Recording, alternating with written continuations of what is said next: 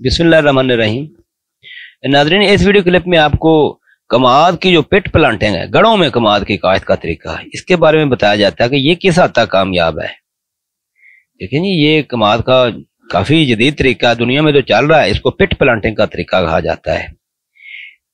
इस तरीके में बहुत से काश्तकार जानते भी हैं कि दो अढ़ाई मरबा फुट के के रकबे पर छह इंच गहरे और एक एकड़ में पच्चीस सौ से लेकर सताईस सौ तक जो है ना वो गड़े बना दिए जाते हैं। भरपूर खाद और बीज डालकर दो आँखों वाले पंद्रह बीस समय डालकर कमाद काश्त किया जाता है इसमें।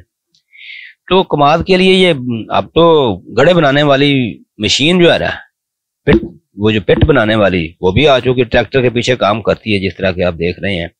तो काम में अब वो दुश्वारी बाकी नहीं, ये उतना लेबोरियस नहीं रहा।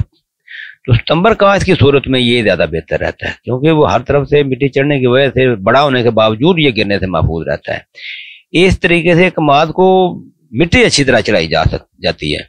ना सिर्फ़ गिरने से बचा रहता है, हर तरफ़ से कसरत रोशनी और हवा लगने की वजह से इसकी पैदावार अढ़ाई फुट और चार फुट के दोनों तरीकों के मुकाबले में ज़्यादा हासिल होती है। दो हज़ार से लेकर पच्चीस सौ मन तक पैदावार मिलती है।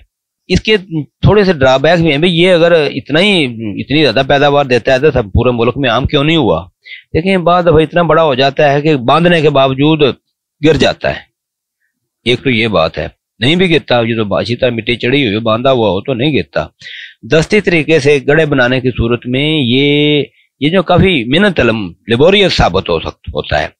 देखें, इसकी लवेरी फ़सल तो अच्छी हो जाती है, इसमें कोई शक नहीं है। लेकिन मोडी में जो है ना, स्टबल शेवर चलाए बगैर इसका उगाव जो है ना, वो बहुत बुरी तरह मुतासर है। मोडी फ़सल जो है ना, वो नहीं अच्छी होती। जिम्मेदार से वो मेहनत नहीं की जाती है इसमें। गन्ना, हकीकत ये है कि ये पैदावार तो देता है। लेकिन जिम्मेदार बहुत ज़्यादा मेहनत इस वजह से नहीं करता कि गन्ना जो है ना, यू माफिया के गेम बनकर रह गया है। कोई पता ही नहीं होता बनना क्या करने के, इतनी मेहनत कर। इसलिए इस पर ज़्यादा ज़ोर लगाने की बजाय बहुत से काश्तकारों ने एक साल लगाने के बाद इसे छोड़ दिया हुआ है। अगर माफिया जो है ना, वो इंसाफ पे आ जाए ना तो मैं समझता हूँ कि गन्ने, पंजाबी जो है ना, ये हर तरह की सूरत हाल का सामना कर जाते हैं और गन्ने की भरपूर पैदावार हासिल करके जो है ना मुल्क को जो है ना खुश, एक्सपोर्ट के काबल कर सकते हैं।